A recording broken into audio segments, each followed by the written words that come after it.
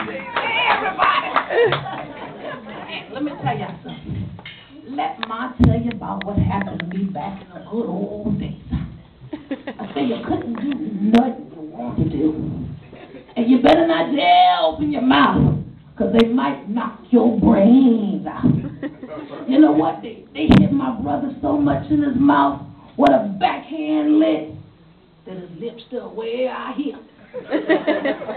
Looked like he had to turn that sweater on. And guess what? Your parents, everything your parents pick for you to do. They pick who you used to love. They pick who you used to go out with. And even who you used to marry. Now just think of somebody picking somebody for you to go out and spend the rest of your days with. Make no difference what condition it is. If Papa said so, and it was it. I wasn't nothing but a little old child.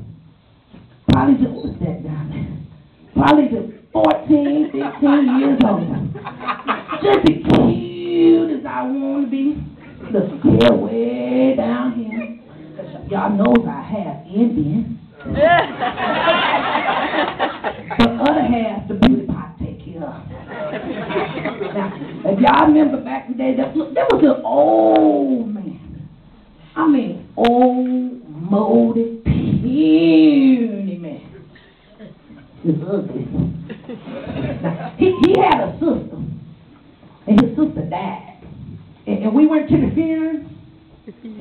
After the funeral, the, the, the minister walked up over to the old man. He said, Pops, how old are you? Pops said, 91. He said, well, ain't no need, you going home then.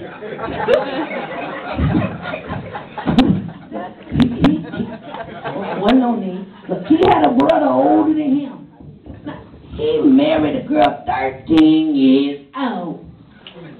He ain't lived but five days.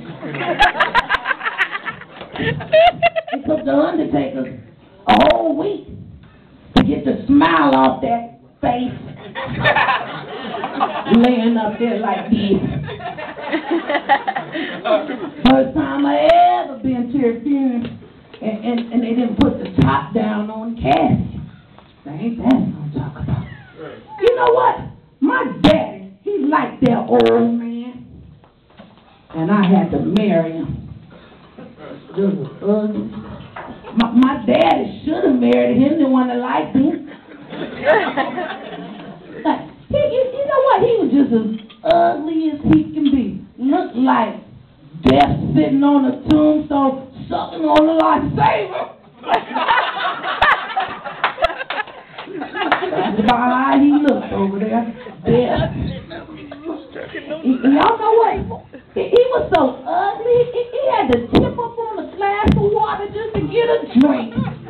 You know? That, that's about the size of, if I get this purse, oops, and drop my purse. About as ugly as he can be. You know, he, he had a job. He got the job down at the doctor's office, just sitting in front of the doctor's, doctor's door, scaring the heck out of people. That's that what he did, make them sick.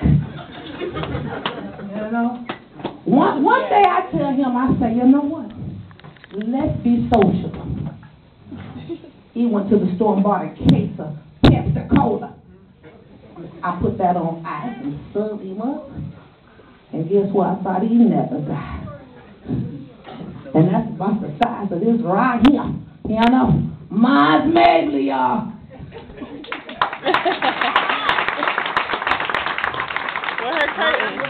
Cut. Cut.